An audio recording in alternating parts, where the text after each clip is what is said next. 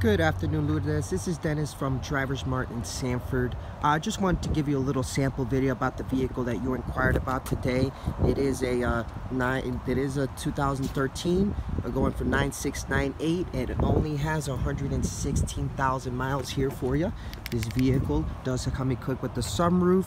Has a little uh, siding here for you already, just from the previous owner. Come over here and unlock the vehicle just a little glimpse inside of what the inside looks like here for you. Come this way here. The inside here for you as well okay? And then we come back in here. We can see the middle console here for you. Kind of look what everything looks like. And then I'm gonna go ahead and I'm gonna turn it on for you. Now we can get a here for it as well. And that's on okay? So just want to go ahead and give you a little video about what I have here for you. Okay.